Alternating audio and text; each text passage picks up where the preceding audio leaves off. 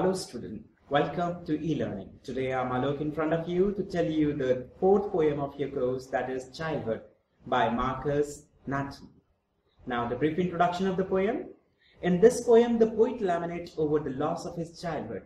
इस कविता में कवि अपने बचपन के खो जाने का दुख व्यक्त करता है It was a time when he sincerely believed that there is a heaven and a hell. वो कहता है कि शायद ये वो तब समय रहा होगा जब उसे विश्वास हुआ कि स्वर्ग है और नरक है। और it was a time when he believe that the adult really mean what they said या फिर शायद ये वो तब समय रहा होगा जब उसे विश्वास हुआ कि जो एडल्ट जो बुज़ुर्ग या बड़े कहते हैं, वो सही होता है, उनके बात में मायने होता है। It was a time when he believe that the adult really mean what they said and he believe that the people really love one another और शायद ये वो टाइम था जब उसे विश्वास हुआ कि लोग वाकई में एक दूसरे को प्यार करते हैं।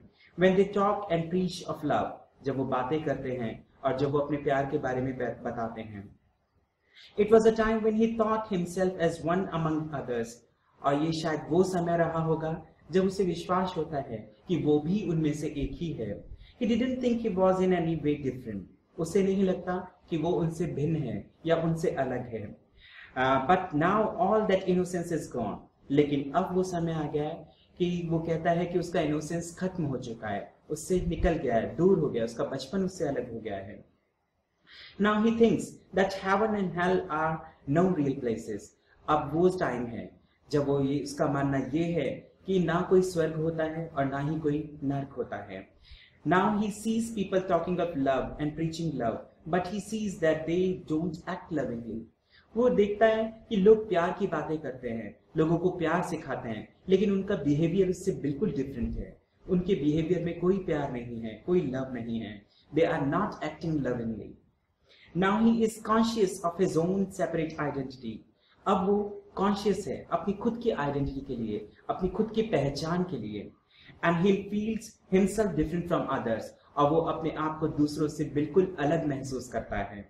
The poet wonders when and where he lost his childhood और आश्चर्य करता है पोइट लेखक को आश्चर्य होता है कि उसका जो चाइल्डनेस है, जो उसका बचपन है वेयर ही हैज़ लॉस्ट वो कहाँ खो गया और कब खो गया। He can only say that it has gone to some forgotten place वो कहता है कि उसका बचपन एक ऐसी जगह चला गया है जो किसी को पता नहीं है, जो वो खुद भूल चुका है।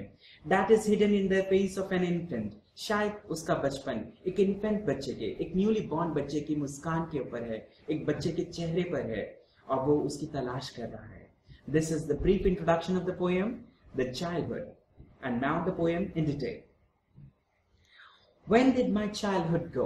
मेरा बचपन कब खो गया Was it the day I ceased to be 11? कि वो तब खोया जब मैं 11 साल का हुआ Was it the time I realized that the hell and heaven? या फिर ये वो समय रहा होगा जब मुझे स्वर्ग और नर्क की पहचान हुई कि स्वर्ग होता है या नर्क होता है।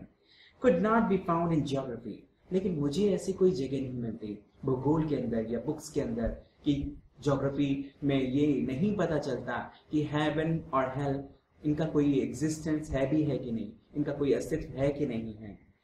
And therefore could not be was that the day कि क्या शायद वो दिन रहा होगा जब मुझे इनका एहसास हुआ या इनके बारे में पता चला When did my childhood go?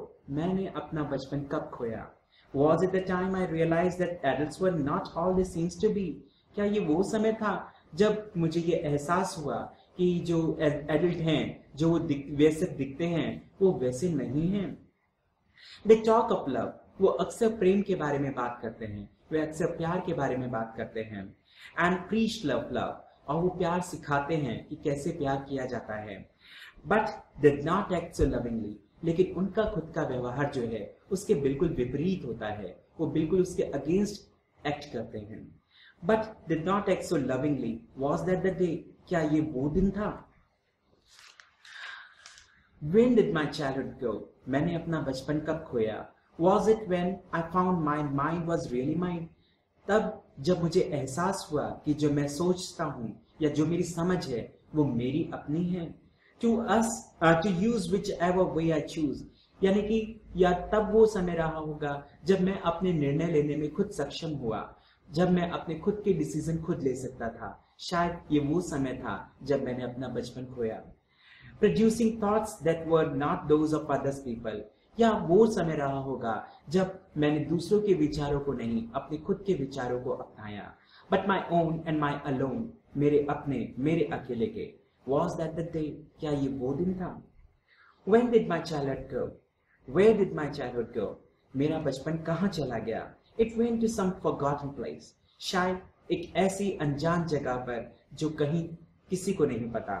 That's hidden in an infant face शायद वो किसी इन्फेंट फेस के ऊपर एक न्यूली बॉर्न बेबी के चेहरे के ऊपर एक बच्चे के चेहरे के ऊपर उसकी मासूमियत मुस्कान के ऊपर वहाँ शायद मेरा बचपन अभी भी मौजूद है दैट्स ऑल आई नो सिर्फ़ मैं इतना ही जानता हूँ कि मेरा बचपन इस बच्चे की मुस्कान के साथ है that is the poem childhood If you like the poem, please press the like button and subscribe the channel. Thank you.